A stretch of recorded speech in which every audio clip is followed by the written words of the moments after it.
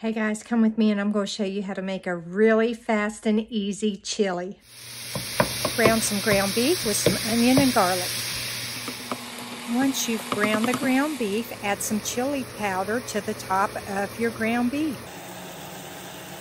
I use kidney beans that are already seasoned in a mild chili sauce. I like using a mixture of light and dark red kidney beans. I also add in one can of chili starter mix and one can of diced tomatoes that are mixed with jalapenos. I really love having chili to eat on a cool evening.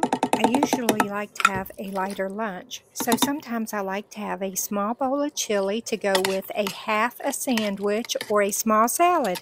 I did not capture it on camera, but I added in one cup of water so that there would be more sauce to boil down from the chili. I'm going to start cooking this at a medium to high heat, reducing the heat every 10 to 15 minutes. We like our chili to be a little bit on the hotter side, so I did add in some crushed red pepper. Just add enough to your desired level of heat.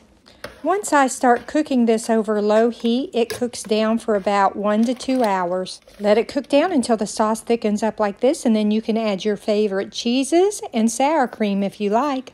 I have some leftover restaurant style bread from where we had ordered takeout, so I'm going to go ahead and use this up to go along with my chili.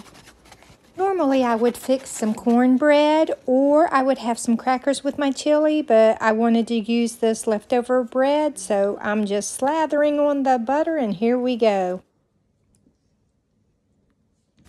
Oh yeah, I'm definitely going to dunk this buttered bread into my chili. Yum.